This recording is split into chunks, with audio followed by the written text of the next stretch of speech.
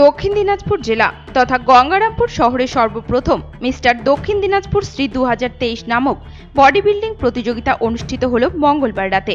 একটি বেসরকারি সংস্থার উদ্যোগে গঙ্গারামপুর বাসস্ট্যান্ড ভবনে আয়োজিত এই অনুষ্ঠানে উপস্থিত ছিলেন West Bengal amateur body building অ্যাসোসিয়েশনের সম্পাদক শেখ নূর, অন্যতম উদ্যোক্তা কাকুলি বসাক, অধ্যাপিকা নীলাব্জা রায় নীলাদ্রি বসু, অভিষেক সাহা, স্বাধীন মল্লিক সহ অন্যান্য বিশিষ্টজনেরা। এই বডি বিল্ডিং প্রতিযোগিতায় মোট ছয়টি বিভাগে প্রায় চল্লিশ জন যুবক ও তিনজন মহিলা অংশগ্রহণ করেন। দীর্ঘ প্রতিযোগিতা শেষে বিকাশ বাসপুর দক্ষিণ দিনাজপুর শ্রী দু হাজার তেইশ খেতাব অর্জন করেন। এই বডি বিল্ডিং প্রতিযোগিতা দেখতে যুবক, যুবতীদের উপচে পড়া ভিড় লক্ষ্য করা যায়। এই বিষয়ে মুখ্য আয়োজক কাকুলি বসাক জানান।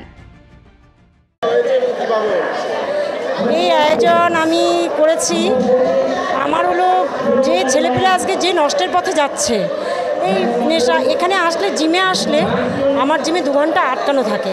এখানে খারাপ কোনো কিছুই হয় না। যা হয়, সব ভালো কিছু। ভাবে জিমটাকে নিয়ে বাট এটুকুই বলতে থাকব যে যখন আমি প্রতিষ্ঠিত করি, তখন আমার ছেলে শো ছিল।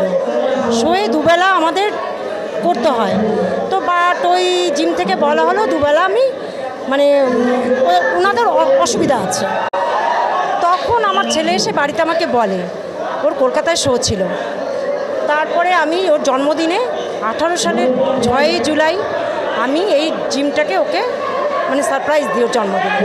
তারপর থেকে জিম এত ছেলে আর স্ট্রাগেলও করেছি আমি এখানে আসতে। ও আর এই শোটা করতে আজকে আমি একা যুদ্ধ করেছি। পাশে কাউকে পেয়েছি, কিন্তু আমার যে জিমের ছেলেরা অল টাইম আমার পাশে থাকতো। আর আমার পাশে ছিল অল টাইম অভিনয় ও আমার সামনে ট্রেন আজকে এখানে body building show body building show দক্ষিণ দিনাজপুরে আজও হয়নি, এই প্রথম।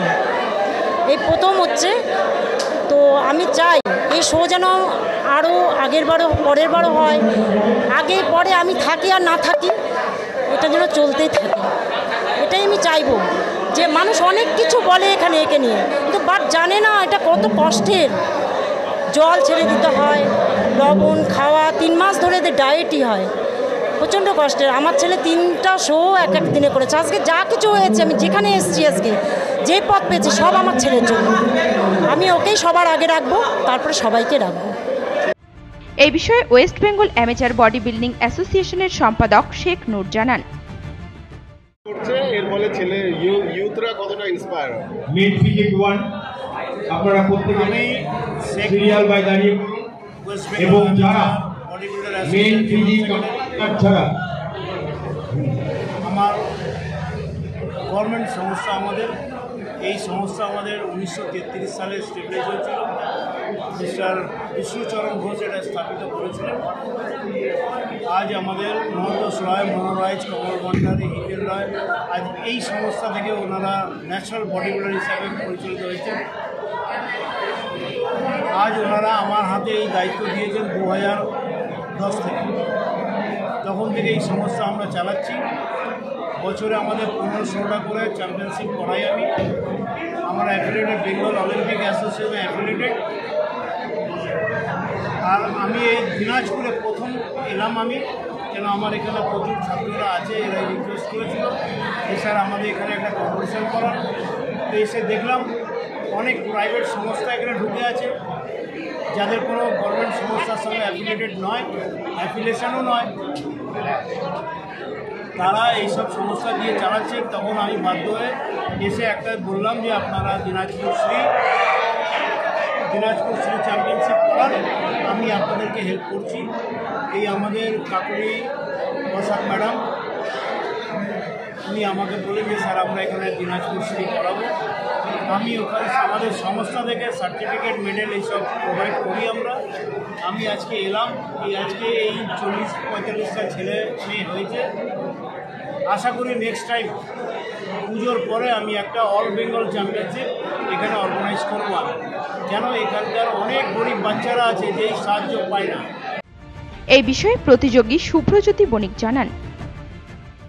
যে দক্ষিণ দিনাজপুরে বিশেষত গঙ্গারামপুর শহরে এই প্রথম হচ্ছে প্রতিযোগী হিসেবে তোমার কেমন আমার তো খুবই ভালো মনে হচ্ছে, কারণ এগুলো অ্যাকচুয়ালি বাইরে হয়।